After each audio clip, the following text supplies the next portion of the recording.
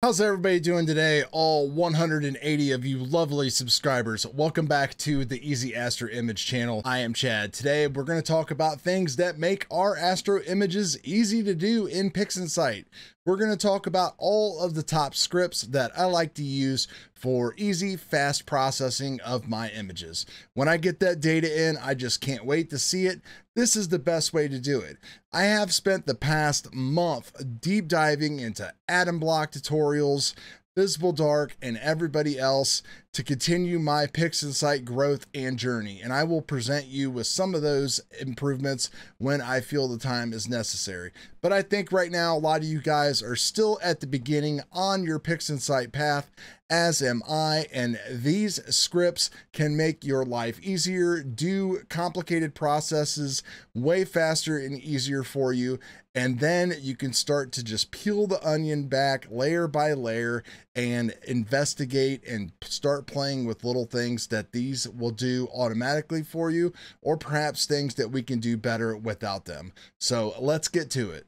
Now, I do have a link to all of these scripts in my description below in the video.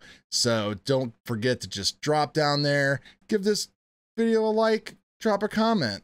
Let me know what scripts that I might be missing. So we got a couple awesome images here. I got about five or six hours in the other night and I split time uh, with my William Optics GT81 between the horse head and the pinwheel. And the clouds rolled in a little bit and kind of took away from the pinwheel, but this horse head looks just amazing. It looks better than the one that I shot last year for two hours and 45 minutes of data. I cannot believe how much detail there is inside here. I am super excited. So I've already just done a dynamic background extraction, a crop, all that kind of stuff. So let's just go ahead and run our first script on here, which is going to be the auto color script. Now, once you get the auto color script and install it, it will be right here under utilities. And literally all you do is just click auto color and it's going to automatically balance your colors. It's still going to leave a little bit of green in there. So you're going to want to run an SCNR to take out some of that green. But hey, this is just awesome. You'll see it change here in a second. And there we go. The auto color script is complete. And again, like I said, you can just kind of come in here with an SCNR and you can just take out some of that green and there we go we have a nice beautiful pleasing image now the next set of scripts is going to be probably the biggest set of scripts that's going to help you in your PixInsight journey and that's the easy processing suite it's been out forever it keeps getting constantly updated i use two or three of his scripts all the time the easy denoise and the easy deconvolution. So I'm going to run just the easy denoise on this. This data looks pretty good, so don't think we really need to do any deconvolution on it. So once you get these installed, you will just see it right there, easy processing suite. He's got a lot of great stuff on in here too. I kind of use the easy HDR sometimes in order to pull out like details in the core of a galaxy. So that's always great. And I also like to use the easy star reduction if I don't feel like using StarXTerminator or StarNet++, plus, but using StarXTerminator is my preferred process.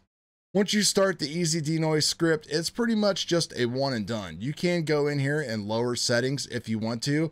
You can run this on a preview if you don't have the time in order to see what it's going to do to your image. But 99% of the time, it is going to work just fantastic. So we're going to take this image, which is non-stretched, and we're going to just run it, and we will show you the results when we get back. Now you can just see all of the things that are being populated here. Masks, integrations, all kinds of good stuff, multimedia transform, TGV denoise, just all of this stuff that you'll definitely want to learn about, but it's just doing it all for us. Oh, just look at that. We've got a beautifully smooth and denoised image. Man, it could be ready to just print out and put on a wall right now. And now we're to run the Easy Soft Stretch, which is part of Dark Archon's processing suite. You can kind of play around with this a little bit, see what you think. Some people, depending upon your image, you might want to run it a little bit lower, like maybe around 1615. Keep an eye on your histogram here. Make sure that you're not clipping anything out. I think in this case, we'll just go ahead and permanently stretch this at about a factor of 18 and boom, there is our image. Look at all of that detail that is in there, still smoothed out from the noise. Man, it just looks amazing. I can't believe this is only two and a half hours of data. Now, these color masks with pixel math are definitely interesting. You might not use these a lot, but they work on, but on some images, they are going to work just spectacular. So we try out one of these color masks here. Let's say that we want to try to bring out some of this blue. So let's click on the blue color mask here and it's going to make a mask. And the mask it made is basically going to allow us to manipulate the blue. And there's also this nice little blurring shortcut here. And I'm not sure how this is all going to work because there's not like a clear definition of blue in this image, but we can just kind of see what, what it'll do here. And red protects. So if we go ahead and hide the mask, we can go into our actual curves transformation and we'll click on the real-time preview. We'll select the blue channel and let's just see if we can crank up our blues. There they go. Look at that. We're just working on the blues. How awesome is that? And how easy was that?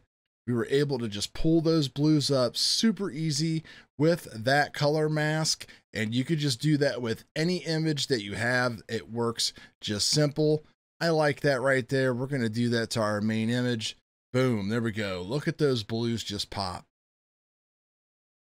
Now, one of the other cool is going to be the dark structures enhance. So what we're going to do is it will bring out all of this dark structure here. And really it, all you got to do is just open it up and click on OK. And we're going to watch the horsey head here just pop right out of the screen. Boom, look at that. The horse head just popped right out. We've got dark structures going on there. We've got a little bit here. The flame just totally popped right out at us. Awesome stuff here. These scripts are just amazing. You just cannot be processing without these things. Maybe the last little thing we'll do is run an easy star reduction with Dark Archon again.